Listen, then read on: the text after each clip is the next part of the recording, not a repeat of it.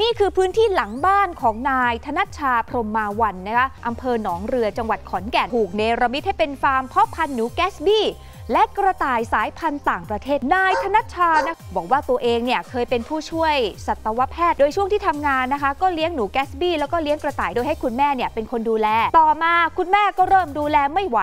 จึงตัดสินใจลาออกจากงาน แล้วก็มาขยายพื้นที่หลังบ้านให้เป็นฟาร์มหนูแกสบี้และกระต่าย โดยหนูแกสบี้มีสายพันธุ์ขนสั้นแล้วก็ขนยาว ราคาเริ่มต้นตัวละ 500 บาท กระต่ายนี่นะคะก็มีทั้งสายพันธุ์ Holland Lop สายพันธุ์ Netherland Dwarf เริ่มจำหน่ายตัวละ 500 บาททำเงินเข้ากระเป๋านะคะ20,000 บาทเนี่ยอย่างน้อยต้องมีเนี่ยบอกว่าในอนาคตเนี่ยเตรียมต่อยอดให้เป็นฟาร์มที่มันสามารถเปิดเป็นคาเฟ่ไปในตัวได้เลย เพื่อให้ลูกค้าเนี่ยได้เข้ามาเที่ยวชม แล้วก็มาเลือกซื้อหนูแกสบี้อย่างใกล้ชิดมากขึ้นนั่นเองค่ะ